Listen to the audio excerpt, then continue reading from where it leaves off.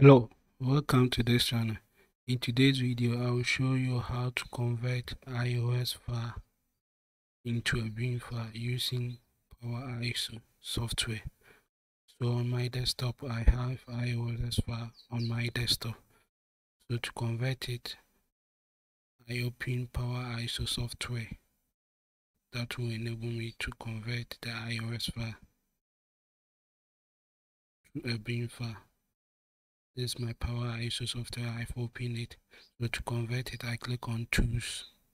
Then I click on Convert.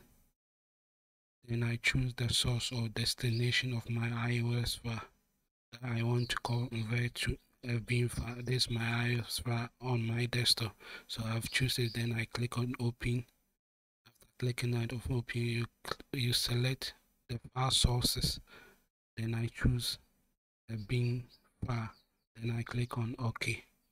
Let's wait for the software to convert the ISO file to a bin file. Now it's converting it to a bin file. Thing you must bear in mind to convert an ISO file to a bin file you need to install Power ISO I've already installed Power ISO this will enable me to convert the ISO file on my desktop to a bin file. It's converting it.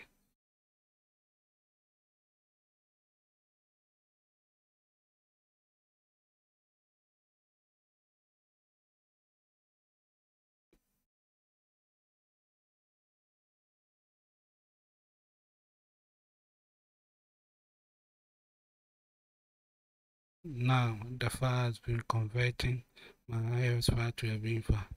Thank you for watching this video. Please kindly subscribe to this channel to receive an update anytime we upload a new video. Thank you.